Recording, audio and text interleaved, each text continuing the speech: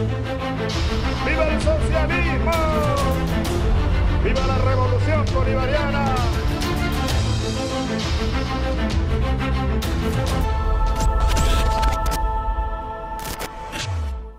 Bueno, continuamos en resumen latinoamericano. Como les decíamos, estamos eh, con la visita de dos compañeras cubanas, de Greti García y Olga Lidia Abreu.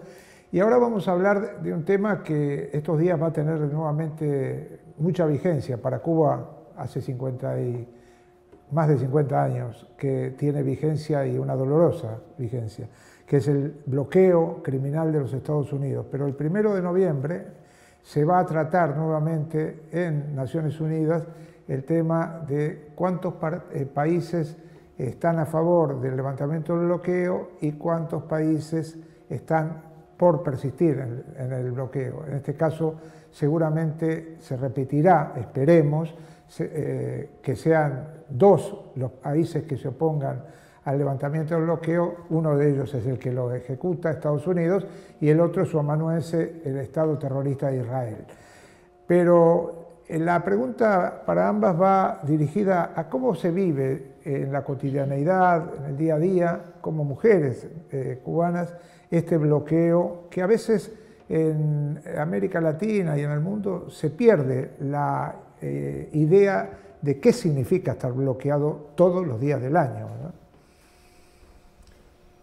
Eh, bueno, a veces uno casi ni percibe eh, cómo se vive desde el bloqueo, porque es tan de todas las direcciones. A veces se nos enferma un hijo y vamos a buscar un medicamento a la farmacia que necesita, uno específico, y no está el medicamento. Y no está el medicamento sencillamente porque eh, Estados Unidos bloquea para que entre. O porque bloquea de alguna manera eh, la materia prima para elaborar el medicamento. ¿Vio? Entonces, eh, ahí a veces no nos damos cuenta directamente que tiene que ver, pero es una de las maneras que vivimos todos los días.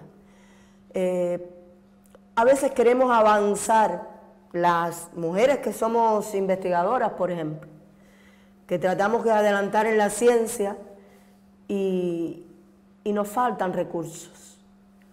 Nos falta en lo cotidiano para llevar adelante a veces ideas que tenemos o posibilidades de desarrollar nuestro país un poquito más y se frustran justamente porque eh, mm, sencillamente nos faltan cosas. Nos faltan cosas que eh, determinados países, respetando el bloqueo, sencillamente nos privan de la posibilidad de obtenerla.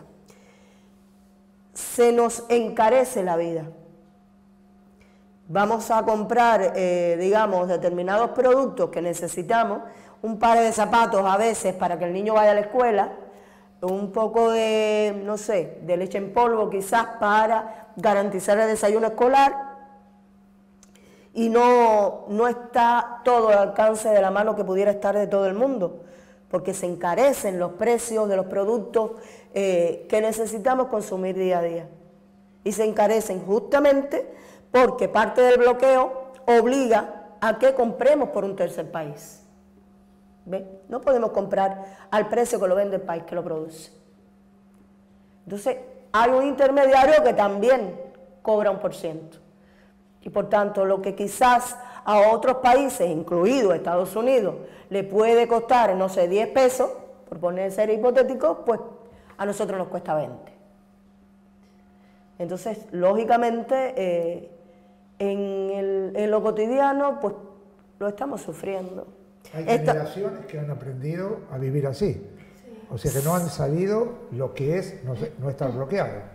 Sí, no, no conocen otra cosa, digamos.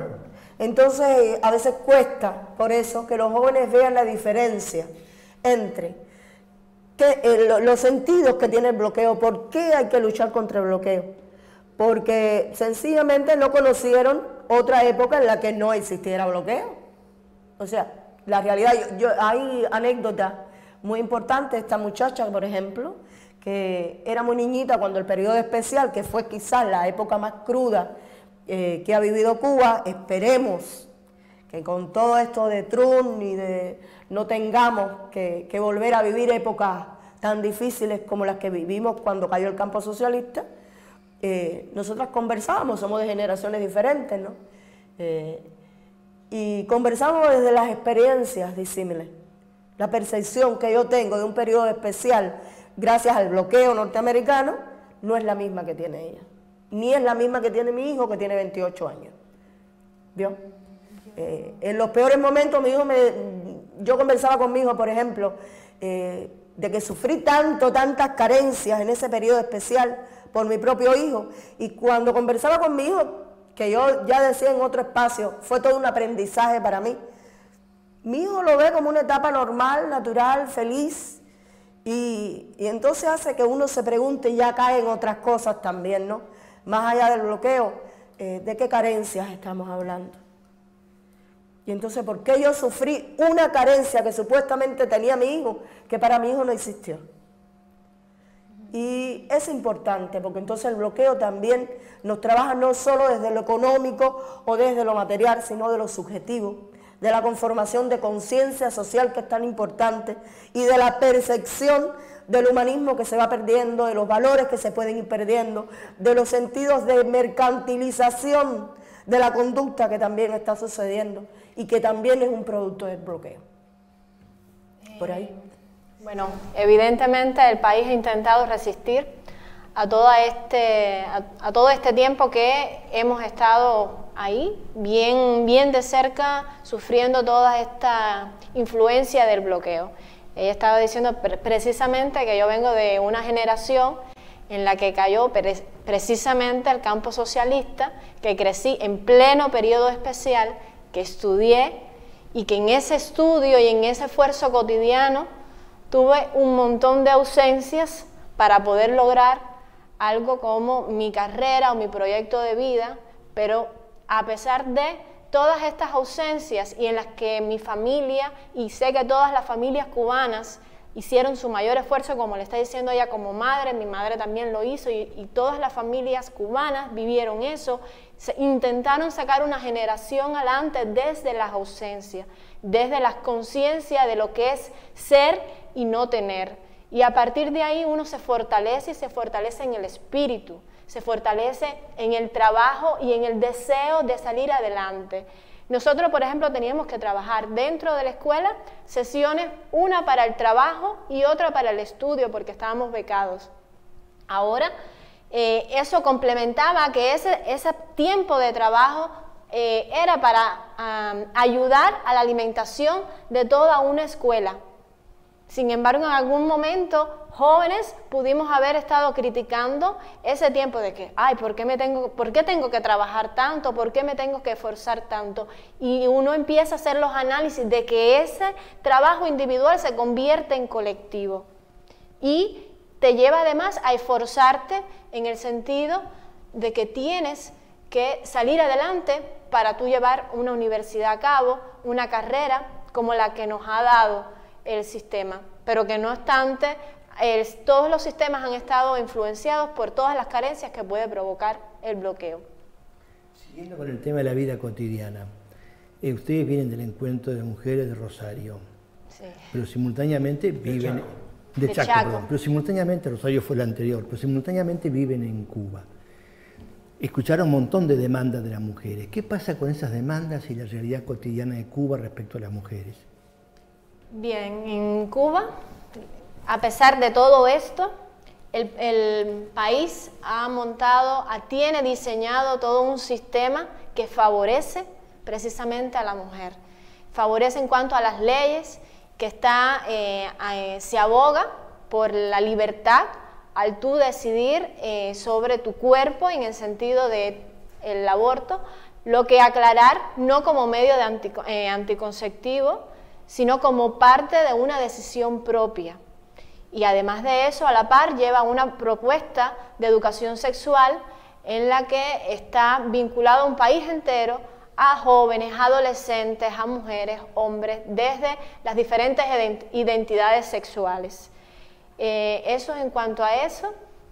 Eh, también está la parte en la que se intenta trabajar desde espacios de género, desde la cátedra de género y otros lugares también en la que se inciden en cuanto a construir, a desconstruir también esta influencia patriarcal que nos queda, por supuesto, pero que eh, sabemos que tenemos que seguir haciendo cosas, que las mujeres no podemos estar tan conformadas, sino que en algún sentido a lo intro, a lo familiar, tenemos que incidir más.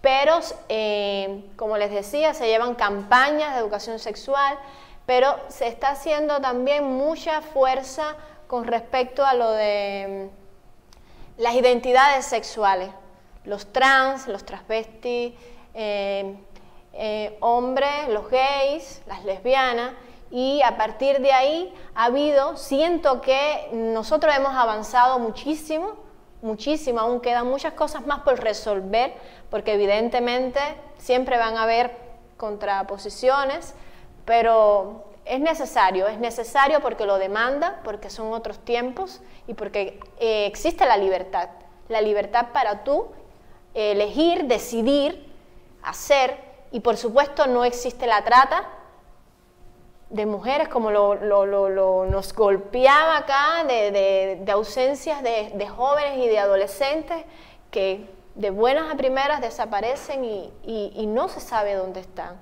Y el, sistema no tiene una respuesta. Y, nadie sabe, y es un, se demanda, se vuelve a demandar, y no hay un Estado que haga nada. Eso no, no, no sucede. Y eh, hay un, eh, las propuestas en las que está es insertada al menos es desde la educación, desde la formación, es una opción para la mujer estar en cuanto a igualdad, no de igualdad de, condiciones o de género, porque no somos iguales, pero como en algún momento lo hablábamos, sino de equidad de género.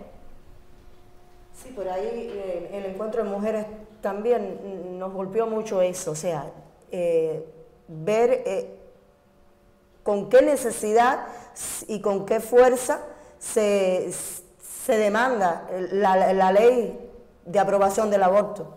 Y nosotros, o sea, es tan común en Cuba, es tan natural el aborto legal, gratuito y, y, bueno, a, decisión propia de la mujer. Eh, la mujer tiene todas las posibilidades que tiene un hombre, incluso las salariales. En Cuba se paga por profesión, por ocupación, independientemente de si eres mujer o hombre. Lo mismo gana un médico que una médica, un maestro que una maestra. Eso es eh, por ley, está instituido así. De hecho, vamos mucho más allá porque había quien se reía, el otro día yo comentaba, en Cuba hay ley de paternidad, hay ley de paternidad, o sea, puede pedir licencia eh, por maternidad la madre, pero si la, madre tiene un salario superior, por ejemplo, o tiene una responsabilidad mayor, y es conveniente que sea el padre el que asuma la licencia de paternidad, es papá quien se queda en casa cuidando al niño. Y entonces, había quien se reía de eso aquí, yo decía, pero ¿cómo? No, ahí, o sea, pudiéramos estar hablando muchísimo acerca de eso, pero eh, bueno estamos en la televisión. Se, protege mucho sobre todo los derechos en cuanto a la maternidad y la licencia. Por acá nos estaban comentando desde las realidades que eran tres meses. Tres meses. Y eh, allí está un sistema diseñado para un año. Y antes del año, después que pares, es decir, después que das a luz, hay mm, un mes y medio que, que tienes para tú ya estar en condiciones y esperar ese bebé y luego tres meses más, entonces... Muy bien, el otro mundo, ese es el otro mundo. Nosotros vivimos en esta parte del mundo. Eh, gracias Olga Lidia Abreu, gracias Grete García, eh, que la estadía en Argentina las llene de mucha vitalidad también y gracias por el aprendizaje. Nos vamos ya diciendo de que a Santiago Maldonado lo asesinaron, que no puede quedar este crimen impune, que no olvidamos, no perdonamos y ni nos vamos a reconciliar con sus asesinos. Esto hay que tenerlo en cuenta. El próximo eh, primero de noviembre estaremos en Plaza de Mayo junto a todos los organismos de derechos humanos a las 18 horas para seguir diciendo estas verdades. A Santiago lo asesinaron. Gracias. Hasta la próxima semana con más resumen latinoamericano.